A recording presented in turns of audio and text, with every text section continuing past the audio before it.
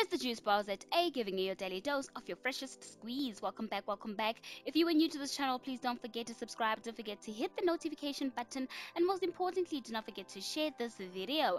So, Skeem Saam lovers know that Rachel and Marothi began dating when Rachel was still young at Turf High.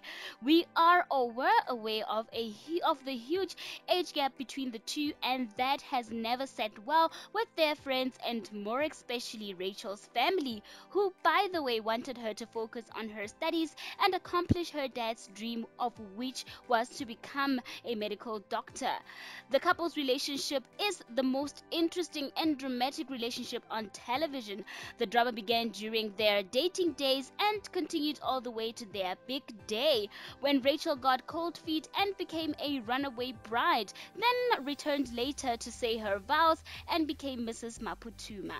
And now we are witnessing their messy divorce that is unfolding right before our eyes.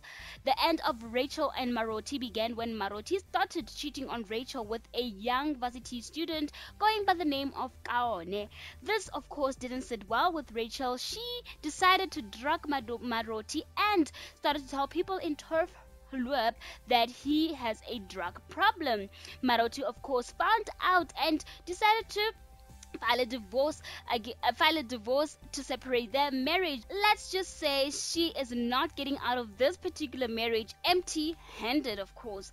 Since the last episode uh, since the last couple of episodes rachel has been tearing Marothi apart. She's cleaning out his bank account. She disappeared and has made it look like Marothi abducted or kidnapped her as unethical as this sounds, a lot of soap drama viewers commend Rachel on not dancing to the beat of her husband and standing up for herself. At this point, the more Marothi tries to defend himself, the guiltier he appears. This seems like it was Rachel's plan all along. Anyway, if you want to catch up on the drama, just tune in on SABC 1 half past 3 weekdays, Monday to Friday. I'll see you guys on the next episode.